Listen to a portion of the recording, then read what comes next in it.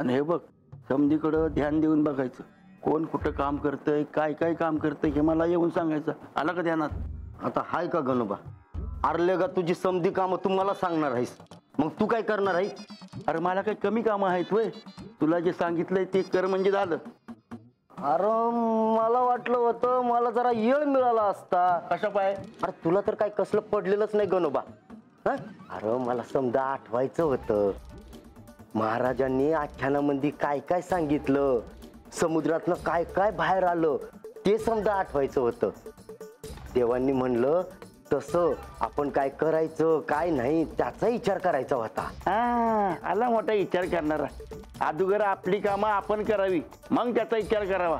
गणोबा राघोबा काय रे? काय चाललंय काय दोघांचं हा? आणि काय गणोबा कुणी कुणाचं काम करायचं कुणाला सांगतायसा?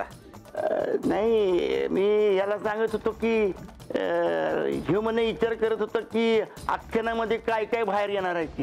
हा आणि हे आठवून छान आपण आपल्या आयुष्यात काय चुकतो काय नाही त्याचा. होय का नाही? होय होय. हा चांगलाय चांगलाय. म्या बी मला येळ मिळाला का नाही ह्याचाच विचार करत असतो या. आणि तेच ह्याला सांगत होतो म्या. अव महाराज म्हणलं की निस्ती कथा ऐकून काय बी होणार नाही. अहो पर हातातली कामं सोडून करावं भाई हा हे बी खरं आहे. राघोबा अवा हातातली कामं बी करायची आणि मग ह्यो विचार करायचा. अव कारण हेतनं तर कळणार हाय देवी आणि बानैसनी का त्या कोण आहेत ते. समधी देवाचीच कृपा म्हणायची. म्हणून तर हे समजा आपल्याला समजलं. होय होय. नाहीतर हे आपलं स- कधी समजलं असतं कुणाच ठाव होय होय हे बी खरं आहे बघा. अहो तो हत्ती तो घोडा ती कामधेनू गाय. खरंच आहे बघा. अहो देव आहे ती म्हणून आपल्याला या समध्यांचं दर्शन घडलं. आणि ते बी ह्या जेजुरीत हत. आणि नारद मुनी महाराज म्हणलं तसं ते मनात असेल ते देणारं झाड. आणि काय ते? विष्णू देवासने आवडणारं ते पारिजाताचं फुल.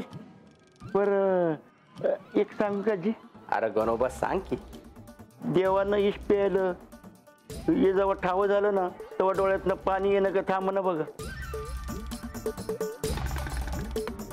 खरं आहे. आणि त्या दिवशी कोण बी कुणा संग काय बी बोललं नाही बघा. अरे आपल्या भक्तांसाठी देवासनी काय काय करावं लागलं? बरं एक कळालं नाही.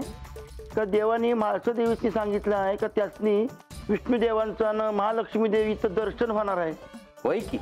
म्हणजे हात जेजुरीत होणार आहे का कुठं? अरे हातच की आणि कुठं? म्हणजे ते हातच असतील होय. गणोबा अरे देव आहे ती ती. आता हाता असलं तरी दिसणार आहे ती होय आपल्याला हा? होय होय.